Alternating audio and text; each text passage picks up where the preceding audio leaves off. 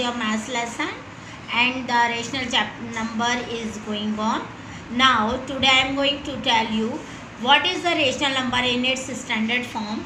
So you know first of all the uh, 50 upon 70 how can we simplify it so simplified it 50 upon 70 0 cut with 0 now 5 on 7 is left it means it is in the standard form okay clear everyone?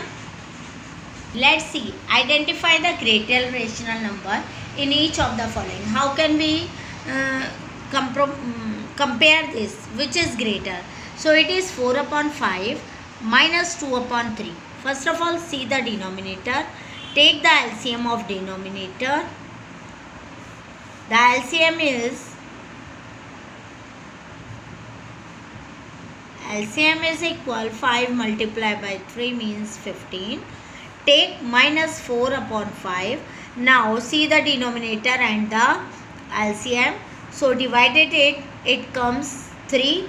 So multiply 3 with numerator and denominator both.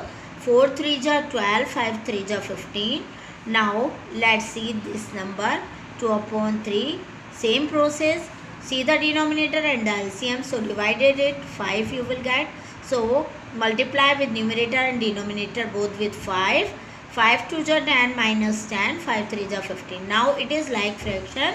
So it is easy to find out which is greater. So see the numerator and and uh, compare is compare it.